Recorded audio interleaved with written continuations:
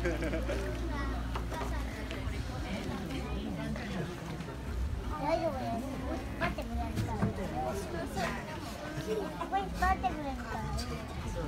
ね、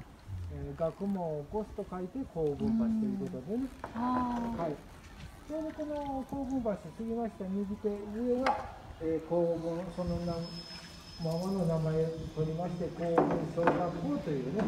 高校になっておりましてね。ちょっと外観があの少し変わっておりますけど今見えてきましたの白い壁の建物、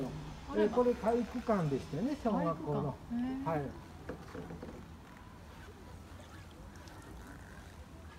まあ、お堀であったもので昔はあの敵が踏み込みますので、えー、全然橋がなかったんですけど、今のこの時代ですとやはり交通網の関係にはどうしても橋がないとね、あの不便ですので、えー、今お乗りいただきました乗船場から下船場まで全部で13の橋の下をね一つずつあのこうくぐりましてね今船の方を進めておりますけども。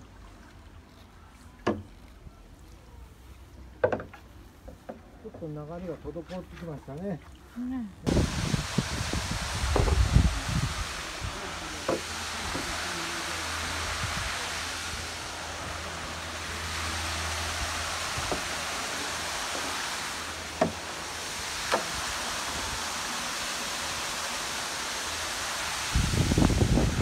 あれも湧き水ですか？そうです。ボタンで出したり止めたりできます。うん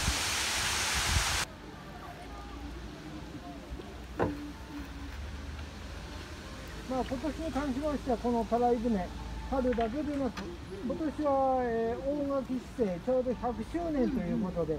また秋にも10月11月同じようにたらい船運航させていただきますのでねご縁がありましたらまたねぜひとも、えー、趣の違って。